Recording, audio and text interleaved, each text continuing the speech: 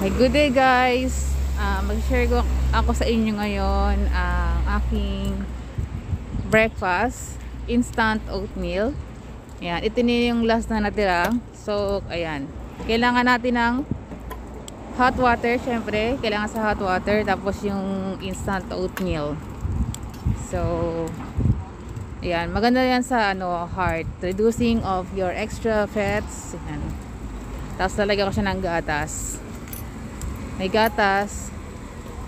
Tapos, ah, kung wala akong asukal, honey, ganyan. Tapos ngayon, merong honey. Medyo marami-raming honey. Mga libreng, may libreng honey kami ngayon. Ayan, so, yan, gagamitin ko ngayon ang honey. Ayan. Tapos, hahalu-haluin lang.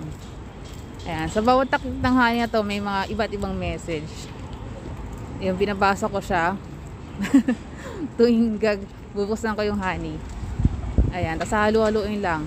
Ah, madalas pagkagising ko, pagkatapos ko gumising, ah, maghahalo na ako ng instant oatmeal. Tapos, hahayaan ko lang siya. Mag, magsaka ako mag-wash face. Ayan. After mag-wash face, ayan, meron na akong ready breakfast na oatmeal. Yun. Maganda yan guys. Sa minsan-minsan. Minsan-minsan para makapagbawas tayo ng fats, extra fats. Ayan. Thank you for watching. Sana nagustuhan nyo itong video na ito.